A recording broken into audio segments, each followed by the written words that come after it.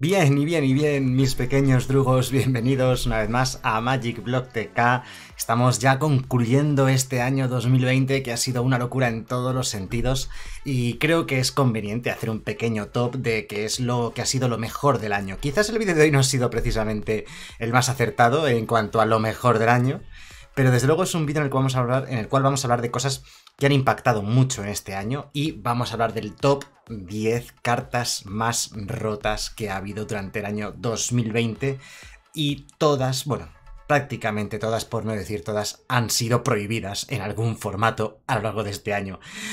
Vamos allá. Pero no vamos a comenzar con la número 10. Vamos a comenzar con un eh, especial tres cartas que no meto en el top 10, pero mención honorífica deberían estar en ese top 10. Comenzamos con Winota, ahí lo tenemos. Winota, la unidora de fuerzas, una carta que eh, en estándar no está prohibida, en estándar no ha pegado demasiado fuerte, se ha visto, se ha jugado en mazos boros agresivos, como una win condition alternativa o como principal win condition, pero es donde no es en estándar, sino en histórico, donde realmente estaba muy rota. ¿Por qué? Porque en histórico tenemos varias criaturas de coste 1 que pueden dar mana eh, desde el primer turno, es decir, elfo, básicamente elfo de Janowar, ¿no? Porque en estándar también tenemos la gansa dorada, pero en histórico, además de la gansa dorada, tenemos también el elfo de Janowar, así como otras muchas criaturas que no son humanos y que sí son humanos, que en estándar quizás no tenemos y que hacen que el mazo sea mucho más potente. Así que cuando salió Winota con Icoria, las primeras semanas y meses, eh, en histórico la cosa acababa en el tercer turno en algunas ocasiones gracias a ella. Y de ahí se ganó la prohibición. No la meto en el top 10, ¿de acuerdo? Porque creo que es una muy buena carta, pero no está tan, tan, tan, tan rota y siempre depende de una construcción de mazo muy específica para ella.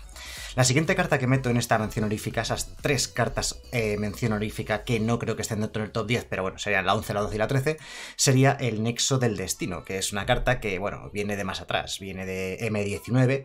Lo que pasa es que, eh, bueno, fue prohibida en 2019, pero también fue, fue prohibida en histórico en 2020, durante el año 2020 estaba prohibida ya en histórico en Best of One al mejor de una partida y la prohibieron durante ese año en Best of Three al mejor de tres partidas, aunque el 2020 no fue su año, su año fue el 2019, por eso la dejo fuera de lo que es el top 10 oficial. Y última carta de mención honorífica va a ser Muxus Goblin Grand. Bueno, el, Goblin Grandee en inglés, ¿no?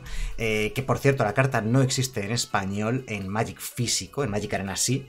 Y ya con esto además os digo que, por cierto, este top, este top de cartas, de cartas más rotas del año 2020, es un top de Magic Arena, ¿vale? O sea, yo me refiero específicamente a Standard, e histórico, nada más. No hablo de Modern, Legacy, Pioneer, eh, Vintage o cualquier otro formato, ¿vale? Hablo solamente de, los formatos oficiales de Magic Arena. Bueno, pues Muxus es la única carta de este top, de las 13 cartas que voy a mencionar, que no está prohibida aún en ningún formato. Bueno, solo es legal en histórico, así que solamente la pueden prohibir en histórico, pero aún no ha sido prohibida a pesar de que realmente su, su texto es absolutamente desproporcionado y puede ser hasta un 7 por 1 por solamente 6 de mana.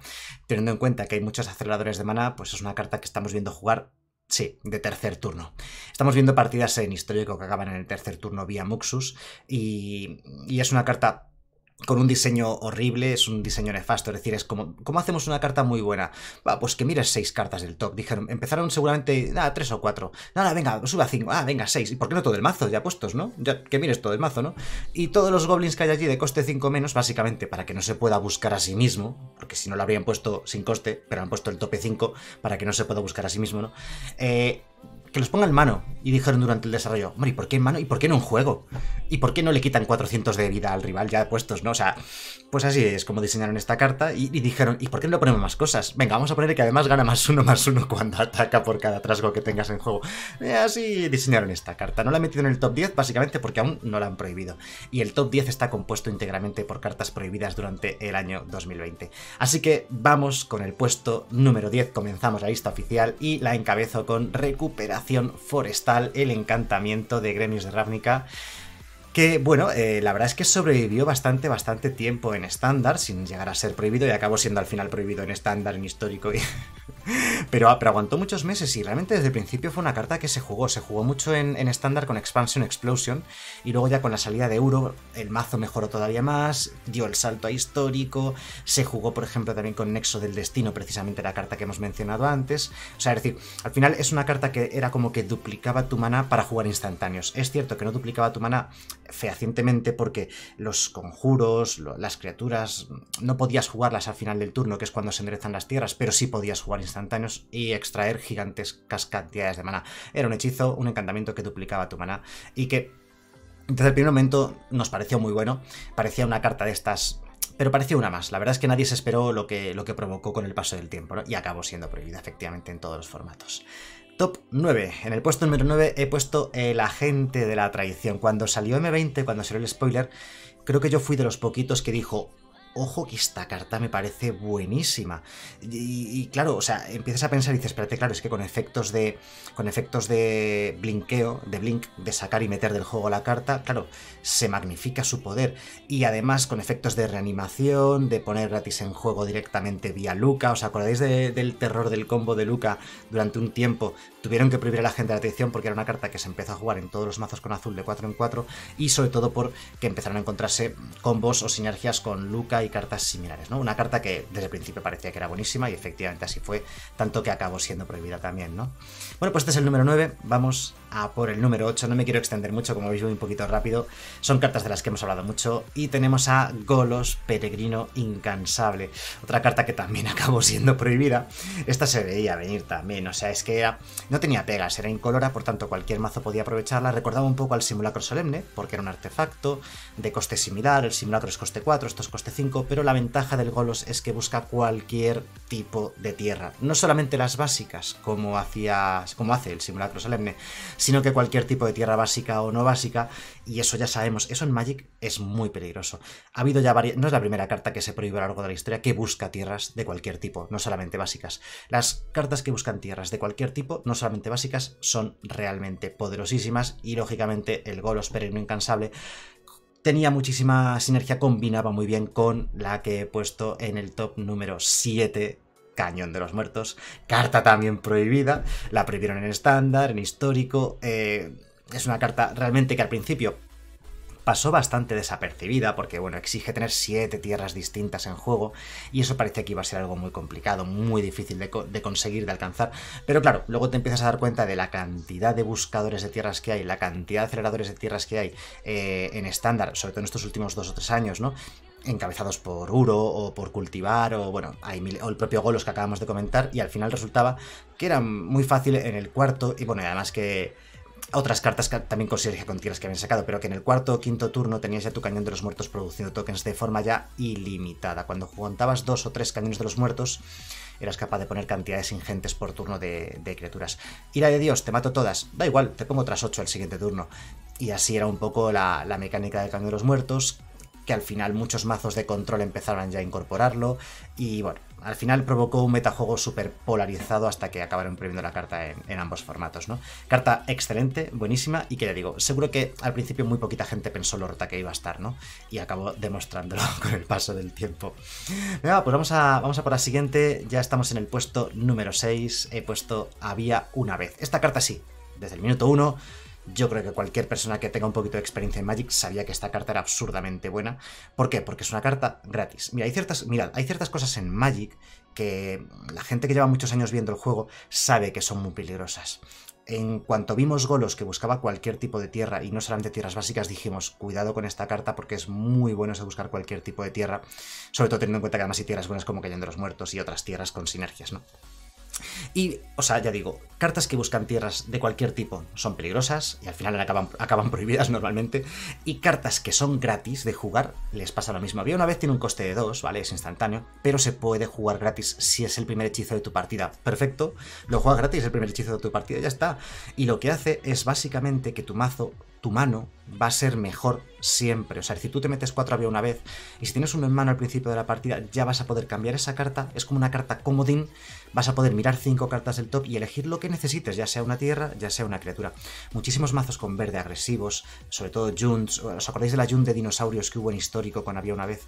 que, que básicamente uno de los problemas del mazo es que o no tenías el dinosaurio bueno o no tenías el color bueno. Una vez que prohibieron esta carta en, histórico, el mazo dejó de ser bueno por ese motivo, porque siempre te faltaba una pieza. Con cuatro copias de vía una vez, ese mazo siempre tenía lo que necesitaba el primer turno de la partida.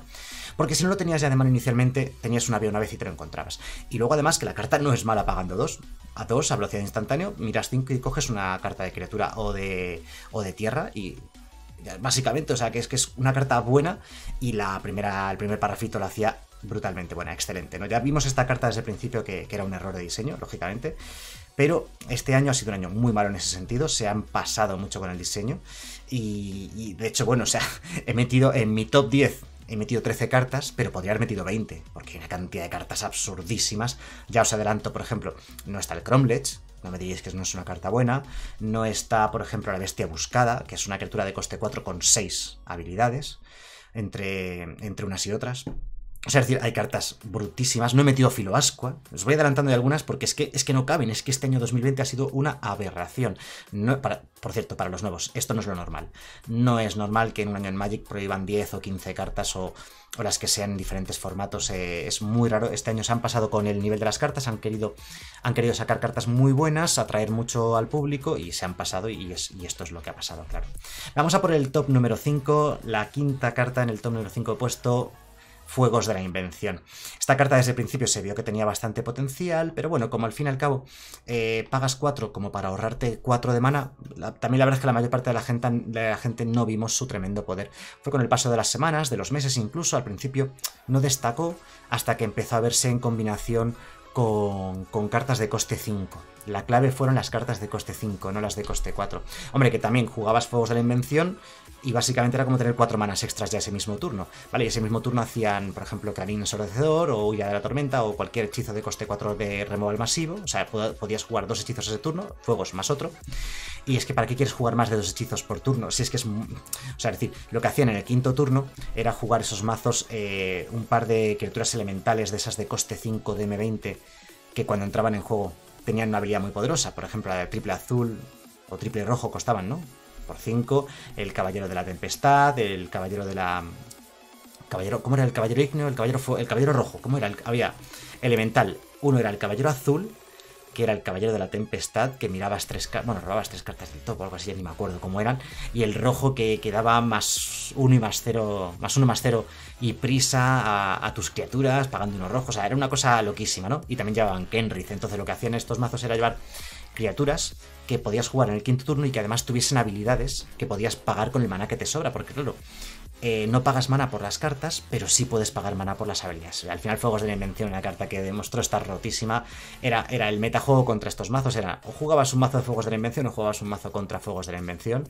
Y ya digo, una carta que todos vimos el potencial, pero no nos pareció que fuese estar tan rota. Y ya digo, cuando se empezó a combinar con esas cartas, esas criaturas de coste 5 y esos hechizos removables masivos de cuarto turno, o sea, realmente demostró estar, estar tremendamente fuerte esta carta, ¿no?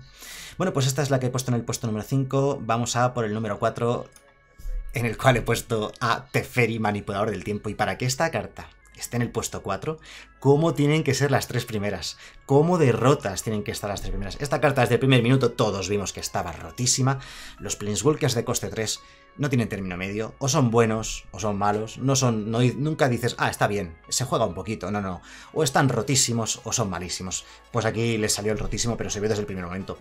Porque por 3 entra con 4 contadores de lealtad, que ya son muchos. El año pasado se pasaron con el tema de los Planeswalkers y la cantidad de contadores de lealtad con los que entran, porque son muy difíciles de matar con criaturas, básicamente, no los puedes hacer con tantos contadores. Al final acabó siendo prohibida esta carta, obviamente, ya he dicho que toda la lista está prohibida en estándar o en histórico, o en ambos formatos.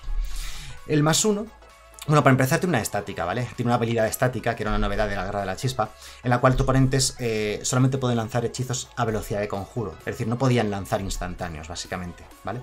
No podían lanzar instantáneos a velocidad instantánea, que es lo que quiero decir. El más uno hacía que tú podías lanzar conjuros a velocidad instantánea, o sea que con la habilidad de este, o sea, o sea, le quitabas al oponente una cosa encima te la dabas a ti misma y subía. Y el menos 3 subía permanentes a la mano que no fuese en tierra, ¿verdad? Y robabas carta. Es que encima daba ventaja de cartas y tempo. O sea, es decir, subías permanentes a la mano del rival y encima robabas carta extra. Y no se moría, claro, se quedaba en mesa con un contadorcito. Pero como entra tan pronto, pues lo más habitual era que en este tercer turno jugabas el Tefer y le subías su única criatura a la mano y ya iba totalmente a contrapié el rival, ¿no? Ya a luchar contra esto, ¿no? Y contra control era lo mismo. El que jugaba el Teferi el primero ya evitaba que el rival pudiese jugar instantáneos o contra hechizos o lo que fuesen. O sea, era una guerra, la verdad es que lo de Teferi manipulador del tiempo fue una locura.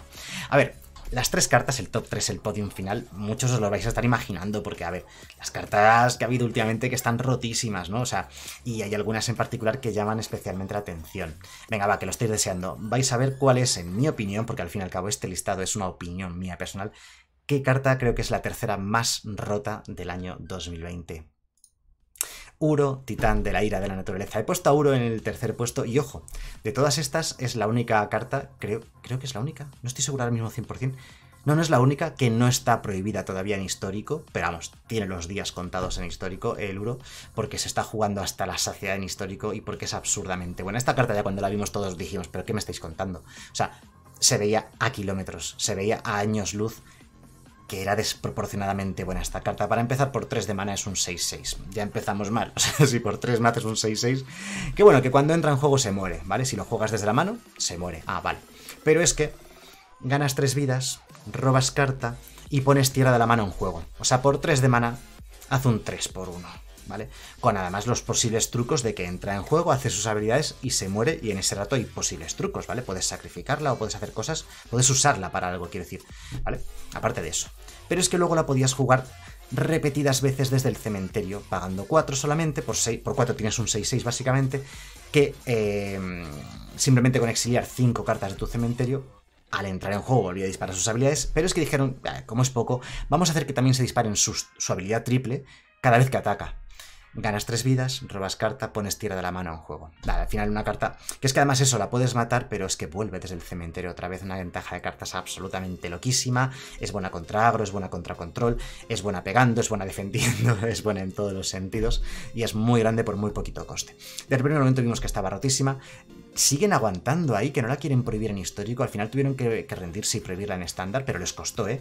Están sacando muchas cartas que acaban prohibiendo en estándar, pero nos hacen comérnoslas durante unos cuantos meses antes de prohibirlas en estándar, ¿eh? Como tienen que vender los sobres de la colección, tú no puedes. O sea, la empresa dice, es que no podemos prohibir una carta que acabamos de sacar, que está saliendo en los sobres, la gente no va a querer comprar los sobres. Bueno, pues tardan unos mesecillos básicamente por eso, nos hacen sufrirlas, ¿no? Y bueno, el siguiente paso supongo que Euro acabará cayendo en histórico y tiempo al tiempo, ¿no?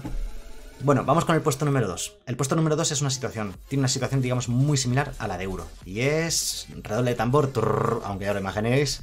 En el puesto número 2 he decidido poner a Omnath, eh, Locus of Creation, no me acuerdo el nombre ahora mismo exactamente en castellano, no me he dado cuenta de buscar el texto en castellano de esta carta. Por 4 un 4-4, no empezamos mal. Sí, uno de cada color y tal, pero claro, es que es lo que estaba comentando antes, con toda la aceleración de maná, fijación de maná, todas las tierras dobles, triples que hay en estándar, eh, todos los buscadores que hay, con la cobra del loto, ah, era facilísimo jugarlo en el tercer turno sin ningún tipo de problema esta carta, en estándar, y, luego además es que tiene triple habilidad. La primera tierra que juegas ganas 4 vidas, que ya es buenísimo, segunda tierra te da 4 de maná, te explota la cabeza. Y la última habilidad, eh, la tercera tierra que juegues, que además es fácil. Bueno, fácil jugar 3 no, pero fácil jugar 2 sí que es fácil en el actual estándar. Hace 4 puntos de daño a cada oponente y a cada Planeswalker que tú no controles, ¿no? O sea, a cada Planeswalker de tus oponentes. O sea, que era una, una criatura que por 4 era un 4-4 con una habilidad triple, que cuando entra en juego además robas cartas, se sustituye a sí misma. Ya solamente por eso, o sea, solamente por 4 un 4-4 con entra en juego robas carta, ya es planteable en algunos mazos, ¿no? Pero es que triple habilidad extra. Una carta que han aguantado bastante tiempo antes de prohibirla en estándar. Era evidente que tenían que prohibirla de salida. Nos dimos cuenta el primer día, el día de acceso anticipado, el día antes de que saliese la colección, estuvimos probando esta carta todos los streamers en directo en twitch.tv barra ya sabéis que estoy todas las noches. Y ya ese primer día ya nos dimos cuenta, todo, nos dimos cuenta todos de que lo de Omnath era absurdo, era una locura, ¿no? En combinación con el resto de cartas que había en estándar, lógicamente. Entonces lo acabaron prohibiendo en estándar en histórico, pero nos lo hicieron tragarnos esta carta durante un tiempo en estándar estándar básicamente porque acababa de salir y no querían prohibirla. Y bueno, por último, eh, ya sabéis cuál es el top 1, si conocéis un poquito Magic Arena, conocéis Magic en general, eh, lleváis ya un tiempo jugando, sabéis cuál es la carta más rota de este año, la que más quebraderos de cabeza ha provocado y que al final ha estado prohibida en todos los formatos, prácticamente en todos los formatos de Magic, no solamente en estándar e histórico, que son los formatos de Magic Arena, sino en todos los demás prácticamente, y es efectivamente Oko, ladrón de coronas.